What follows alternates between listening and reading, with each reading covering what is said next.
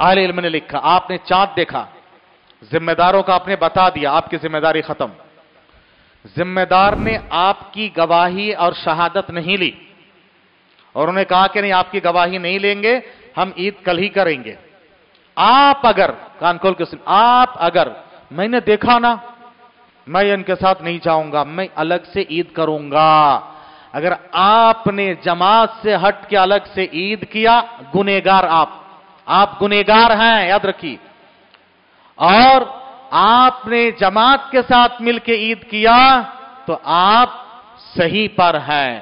ہاں جماعت نے غلط ڈسیشن لیا، وہ ذمہ دار اللہ کے پاس جواب دیں گے۔ ہم تو بچ جائیں گے نا۔ ہم بچ جائیں گے، یاد رکھو۔ اسی میں اجتماعیت برقرار رہے گی۔ اسی میں اجتماعیت برقرار رہتی ہے۔ نبی نے فرمایا، عید اس دن ہے جس دن سارے لوگ عید منائیں۔ سارے لوگ عید منائیں ہاں؟ ازا اس دن ہے جس دن سارے لوگ قربانی منائیں سارے لوگ نہیں منا رہے ہیں اور آپ نے منایا تو آپ کے لیے عید کا دن ہے وہ۔ ان الحمد للہ نحمده ونستعينه ونستغفره ونعوذ بالله من شرور انفسنا ومن سيئات اعمالنا۔ من يهده الله فلا مضل له، ومن يضلل فلا هادي له۔ وأشهد أن لا إله إلا الله وحده لا شريك له وأشهد أن محمدا عبده ورسوله. فأعوذ بالله السميع العليم من الشيطان الرجيم من همزه ونفخه ونفسه.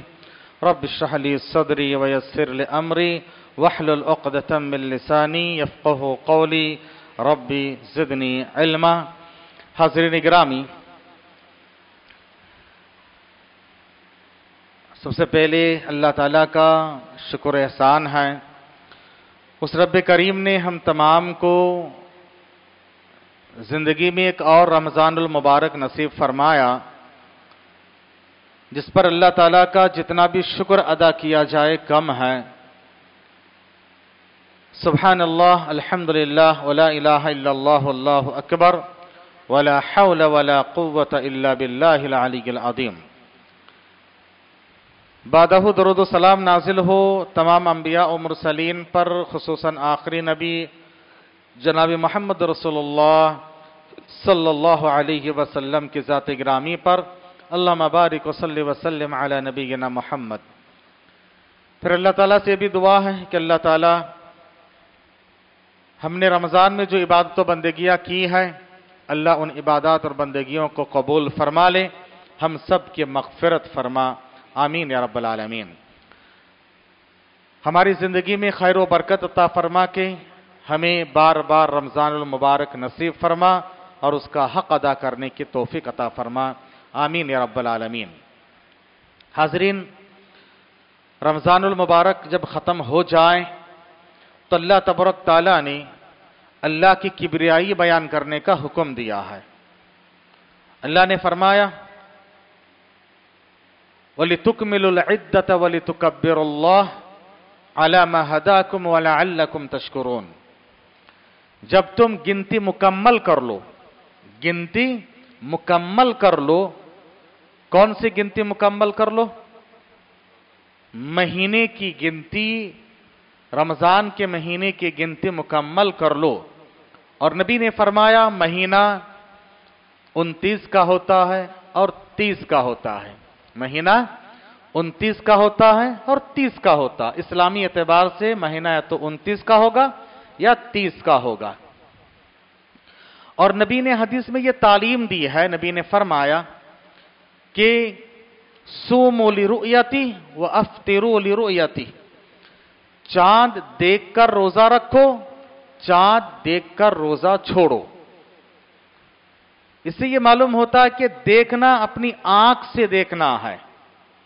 سائنٹیفک اعتبار سے سائنسدانوں نے طے کر دیا، بتا دیا کہ چاند کا جنم اور وجود ہو چکا ہے۔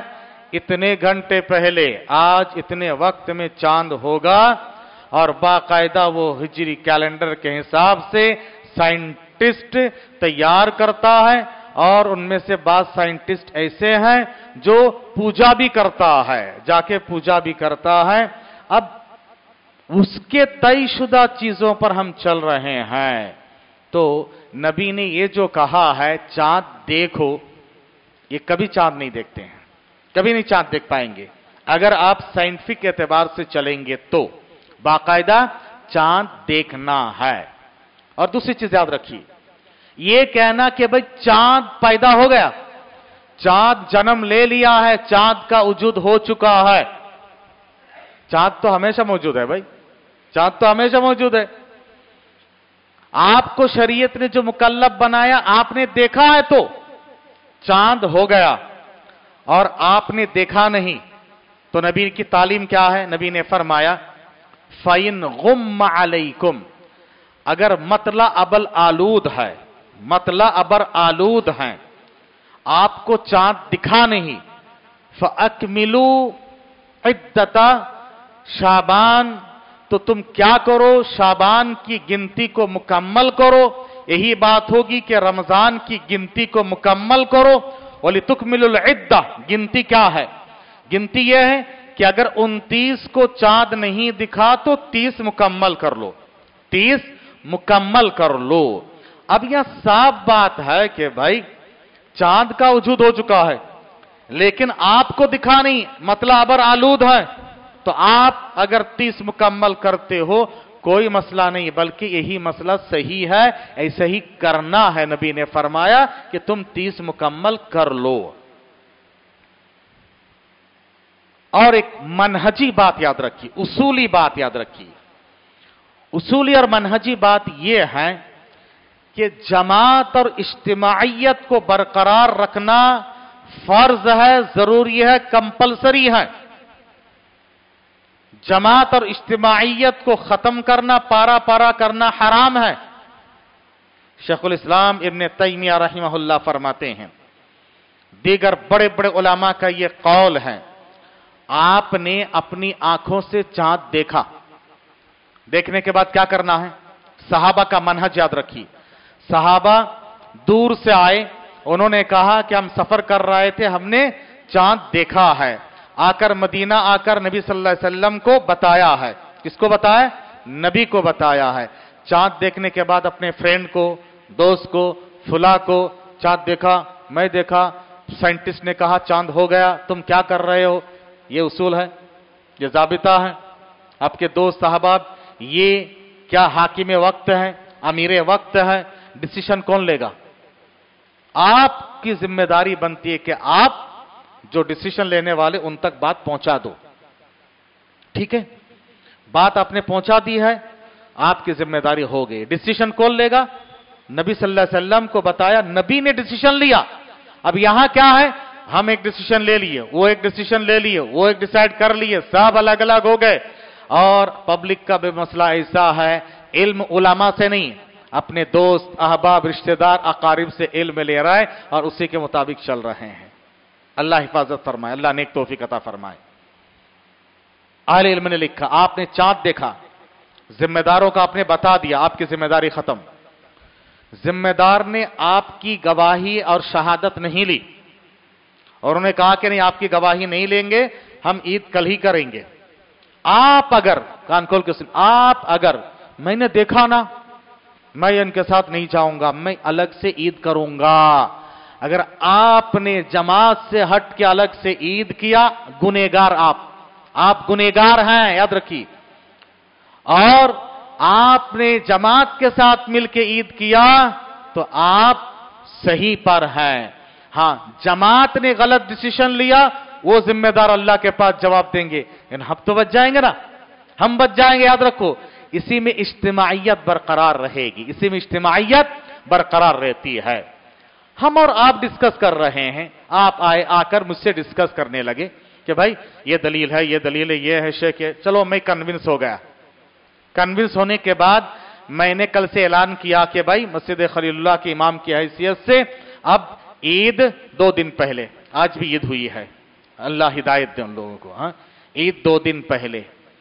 تو اب بتائیے مسجد خلیل اللہ ایک تیسرا فرقہ تیسرا فتنہ ہوگا کہ نہیں ہوگا؟ اصول کیا ہے آپ اور ہم سب جائیں جماعت کے پاس۔ آپ اور ہم سب یہ پرسنل انڈیویجول مسئلہ نہیں ہے یہ جماعت کا مسئلہ ہے۔ آپ اور ہم سب جائیں جماعت کے پاس۔ جماعت کے پاس جا کر آپ وہاں بتائیں کہ بھائی یہ, چیزیں ہیں۔ اب جماعت سارے علامہ کو بٹھائیں گے بٹھانے کے بعد جماعت ڈسیشن لینا ہے۔ کون سا مسئلہ آپ کی انڈیویجول کا ہے؟ کون سے جماعت کا یہ سمجھنا ہے؟ شریعت کی روحانیت کو سمجھنا ایک دو چیز ملے اور آپ نے شروع کر دیا، بیان کرنا۔ چور چوری کیا۔ اسلامی شریعت کیا کہتی ہے؟ ہاتھ کاٹنا۔ کون کٹے گا؟ ہاں چور پکڑ کے لا، میں کاٹ دیتا ہوں۔ کون کٹے گا؟ حاکم وقت، قاضی وقت کاٹے گا۔ یہی معاملہ ہے، یاد رکھی، اس کا سارا تعلق ہے قاضی کے ساتھ۔ اب آپ کہتے ہیں کہ بھائی چاند کا وجود ہو گیا۔ فجر کے بعد سے دن کا آغاز ہو رہا ہے۔ نبی نے فرمایا، چاند دیکھنے کے بعد، چاند دیکھنے کے بعد عیدگاہ جانے تک فطرہ دینا ہے۔ عیدگاہ جانے تک فطرہ دینا ہے۔ اب فجر کے بعد آپ نے چاند دیکھا، فجر کے بعد چاند دکھتا ہے۔ کبھی دکھے گا چاند؟ کبھی عمل ہوگا اس حدیث پہ؟ یا صرف خیالی باتیں ہو رہی ہے؟ غور سے سننا۔ اب اتنا فجر کے بعد سے عیدگاہ جانے تک کتنا وقفہ ہے؟ ایک گھنٹہ، ڈیڑھ گھنٹہ، اتنے میں آپ فطرہ نکال کے غریب تک پہنچا کے عیدگاہ جا سکتے ہو؟ پاسبل ہے یہ سب چیزیں؟ کتنے سارے مسائل کی بات ہے میرے بھائیوں۔ اب یہ سب لے کر جو ہے ایک عجیب طرح کی باتیں کرنا جماعت اور اجتماعیت سے الگ ہونے کی باتیں کرنا، یہ ہمیں سمجھنا ہے۔ حضرت قرائب رضی اللہ تعالی عنہ سے مسلم کی حدیث ہے امام ترمزی نے باپ بادا لکل بلد اہلی بلد رؤیتهم ہر شہر والوں کی الگ الگ رویت ہے۔ ہاں؟ امام مسلم نے حدیث قرائب کو ذکر کیا۔ قرائب رضی اللہ تعالی عنہ کی جو روایت ہے، وہ رمضان سے پہلے ملک شام گئے، سیریا گئے۔ تقریباً مدینے سے پانچ سو سے پانچ سو کلو میٹر کے آس پاس کی مسافت اور فاصلہ ہے۔ وہاں گئے۔ وہاں جانے کے بعد وہاں جمعہ سے روزہ شروع ہو گیا۔ مدینے میں ایک دن بعد ہفتے سے روزہ شروع ہوا۔ قریب رمضان کے آخر آخر میں جب مدینہ آئے تو دیکھے کہ بھائی یہ لوگ تو ایک دن بعد روزہ رکھے ہیں نا۔ یہ لوگ ایک دن بعد روزہ رکھے ہیں۔ اور ملک شام میں وہ لوگ چاند دے کے ایک دن پہلے روزہ رکھ لیے ہیں۔ تو انہوں نے کہا، ابن عباس سے، کیا ملک شام کی رویت کا اعتبار نہیں ہوگا؟ کہا کہ نہیں ہوگا۔ کون کہہ رہا ہے؟ صحابی رسول ابن عباس۔ اور اگر وہ خود کہتے تو ہم کہہ سکتے کہ انہوں نے اپنا اشتہاد کیا۔ انہوں نے کہا ہا کدا امارانا رسول اللہ رسول اللہ صلی اللہ علیہ وسلم نے ہمیں اسی طرح سے حکم دیا ہے۔ کیا حکم دیا ہے کہ وہاں انہوں نے دیکھا ان کی رویت ہم نہیں لیں گے۔ نبی نے گواہی بھی لی، کتنے دور کی گواہی لی، وہ بھی دیکھنا ہے آپ ہاں؟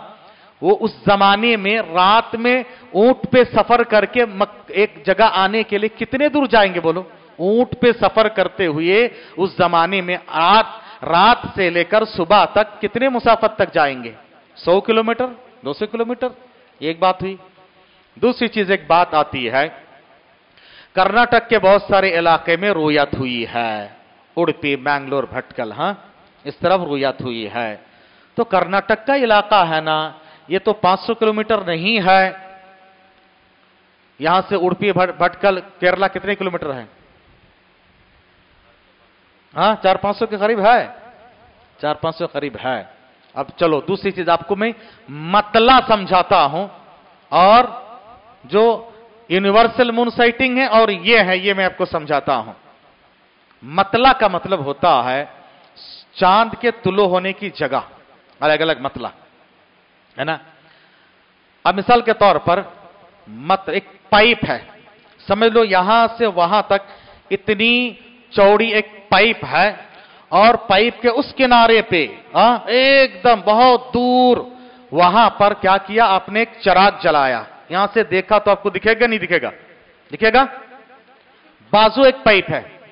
بازو ایک پائپ ہے۔ یہاں پائپ ہے، یہاں پائپ ہے۔ ہاں؟ یہاں آپ نے چراغ جلایا۔ اس پائپ سے دکھے گا نا؟ یہاں سے دیکھے تو دکھے گا۔ بازو بازو آنا۔ بازو بازو آنا۔ مسافت۔ یہاں اتنی دور دکھ جا رہا یہاں دکھ رہا نہیں۔ دلی کی رویت تمہیں لے رہے ہیں۔ ہاں؟ اور یہاں بھٹکل کی رویت نہیں رہا ہے دلی دو ہزار کلو میٹر ہے، اور بھٹکل جو ہے پانچ سو، چھ سو کلو میٹر ہے۔ دلی کی کا متلا اور ہمارا متلا ایک ہے، اسی لائن پہ ہے یہ۔ وہاں دکھے گا تو یہاں دکھے گا۔ اور اڑپی مینگلور بھٹکل کا جو متلا ہے، یہ اے ہے۔ ہاں یہ ان کا جو بیلٹ ہے کوسٹل بیلٹ، وہ عرب سے ملتا اس طرف کا بیلٹ ہے۔ وہاں دکھے گا، سارے کو دکھتا۔ یہاں نہیں دکھے گا تو بعض والوں کو بھی نہیں دکھے گا۔ یہ آپ کو سمجھنا ہے کہ بھئی یہ دیکھو، انٹرنیشنل لیول پہ بڑے بڑے علماء، ماہر فلکیات، اس پہ سیمینار کر کے، یہ کر کے سب، یاد رکھو چودہ سو سال سے یہ چلے آ رہا ہے۔ اپنے اپنے علاقے کے اجتماعیت کو برقرار رکھیے۔ اتحاد کے نام پر اختلاف اللہ کے واسطے مت کیجیے۔ یہ میں آپ کے سامنے رکھ رہا ہوں اور فائنلی اس کا خلاصہ یہی ہے کہ جو جماعت کرے اسی پہ ہمیں چلنا ہے۔ دجال جب آئے گا، ایک دن کتنے سال کا، ایک سال کا ہوگا نا؟ ایک دن ایک سال کا ہوگا۔ ایک سال کا جب ہوگا، ایک سال میں رمضان اور بقرید آئے گی کہ نہیں آئیں گے؟ کیسے کرو گے؟ ایک دن ایک سال کا ہے۔ چاند دکھے گا۔ کیا کرنا پھر؟ نبی نے فرمایا اپنے اپنے علاقے کے اعتبار سے ٹائم دیکھ کر نماز وغیرہ پڑھ لیا کرو۔ تب کہاں کی گواہی لوگے بھائی؟ جب دجال آئے گا اس وقت سارے ٹیکنالوجیاں ختم ہو جائے گی۔ ہاں؟ تب کیا کرو گے؟ آج ٹیکنالوجی تو کر رہا اسلام ہر وقت کے لیے، ہر جگہ کے لیے، ہر اعتبار سے، یاد رکھے میرے بھائیوں اس لیے ہمیں چاہیے ان باتوں کو سمجھے آپ۔ اور وہی بات اب اگر آپ کہہ رہے ہیں، دوسری بات یاد رکھیے۔ عرفہ عرفہ کب ہوتا ہے؟